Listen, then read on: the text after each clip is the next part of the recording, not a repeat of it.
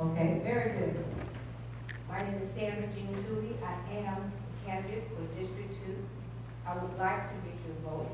My opening statement basically is to tell you that I would like very much to communicate with the people in Valdosta to help get our city growing. I am a builder, and I would like to join with the city council, the mayor, and the Dallas County also build Valdosta, Georgia up. Thank you. Thank you, Mrs. Tooley.